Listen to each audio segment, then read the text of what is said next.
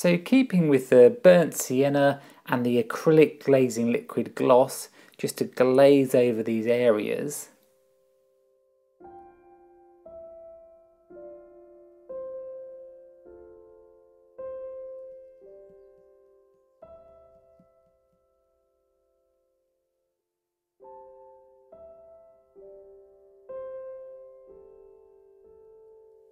And I've just added a touch of titanium white here and that will lighten the value and give the colour some opacity.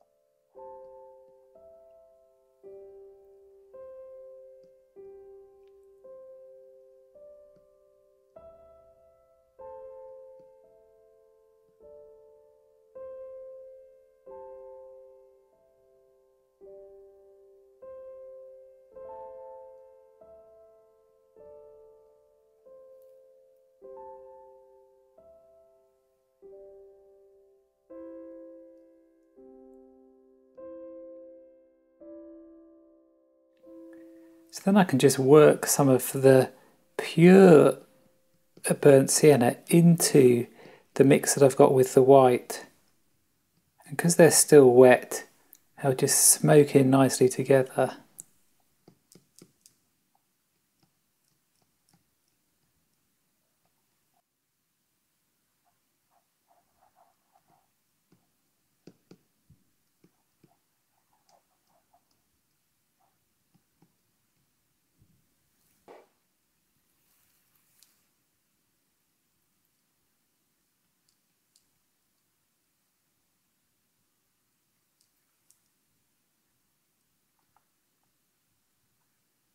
So just with the tip of the brush, I just added this touch of pure titanium white. And what this does is it expands the tonal range and gives us a bright highlight to work and judge our other colours against.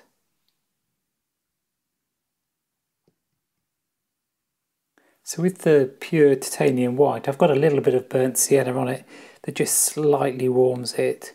But just by putting in these odd highlights just give us a sense of the light catching the pot.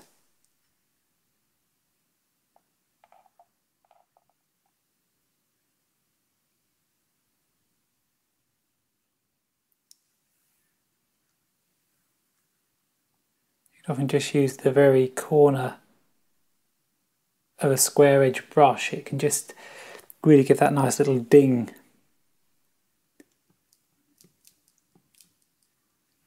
again on the edge here.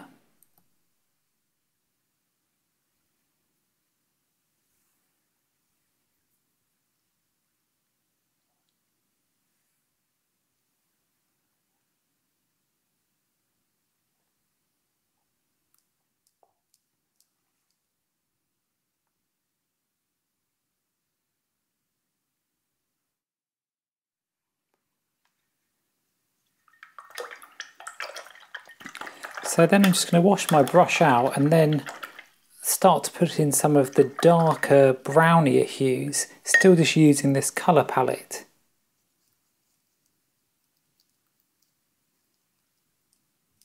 So that's with the burnt umber and the burnt sienna and a little bit of white.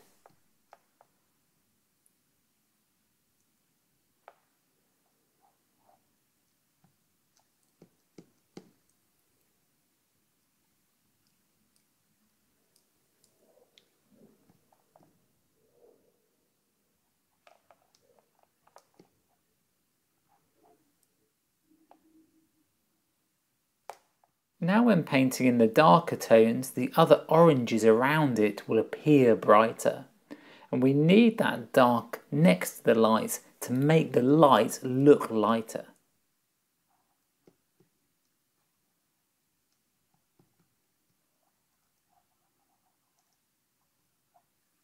And now to get these brighter yellow colours into the copper, when we have a look at the reference, there's still these yellower hues in the centre. I'm going to introduce some cadmium yellow light just so we can boost the chroma a bit and get that nice intensity in the centre of the pot.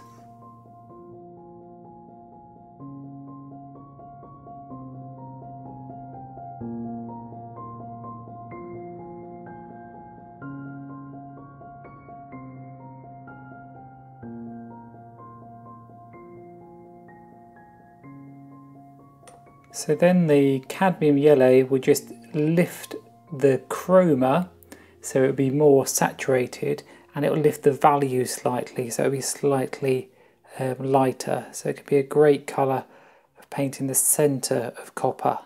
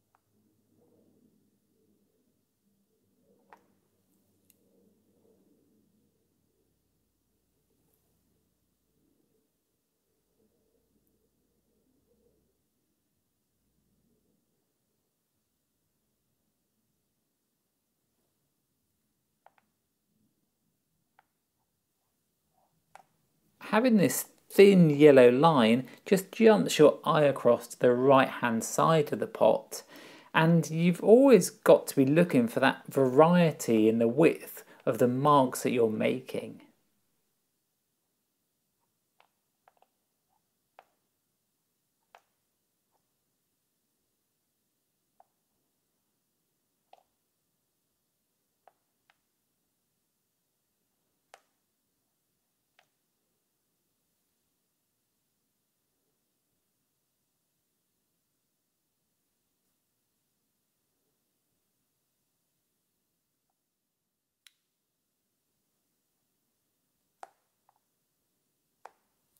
Using the real, the real tip, the real edge of the square brush just to get those very fine lines.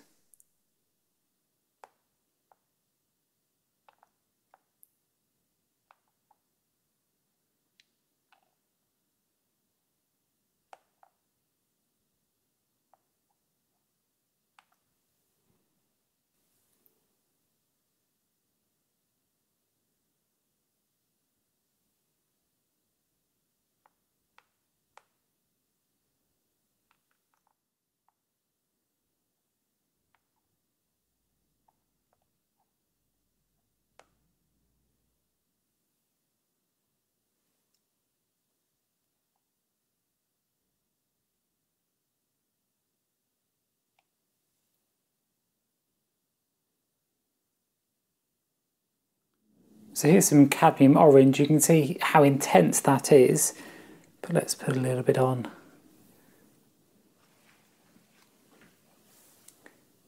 Again, just on the edge of the flat brush.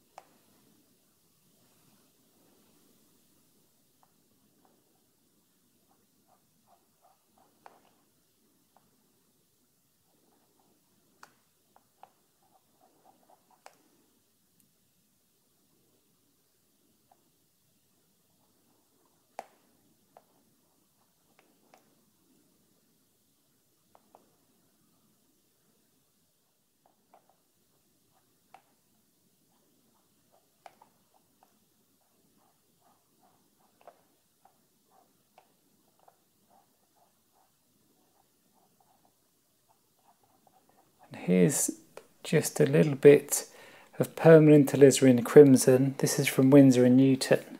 This is a great colour um, for giving a lovely glaze colour. So just get a bit of the glazing liquid and really make sure that your brush is um, nice and washed out. You can see on this left hand side there's a warmth to it, a ready warmth. So we can just take this, this should be dry. Just work over that colour.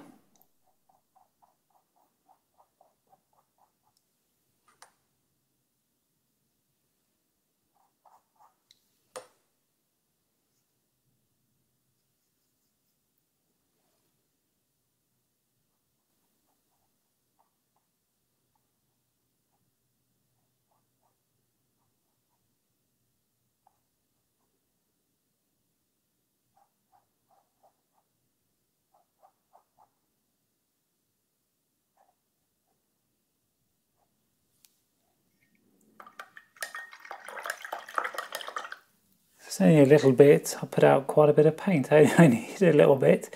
And then a bit of the burnt sienna.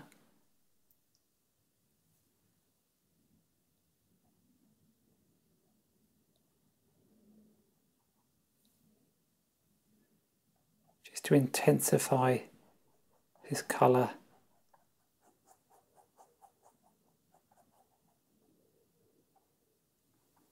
I might even just put that over there.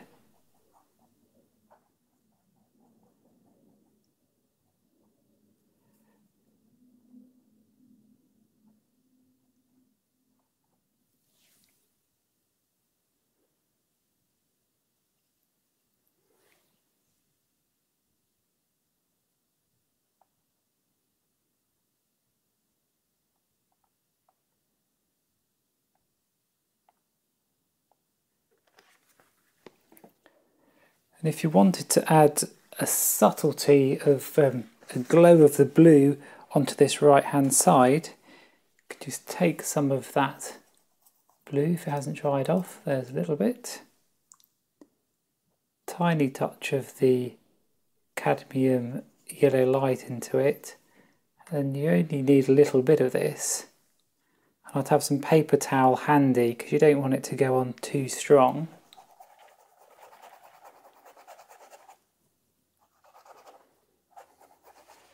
And just take it off with the paper towel. So you've just got a really light blush of that blue.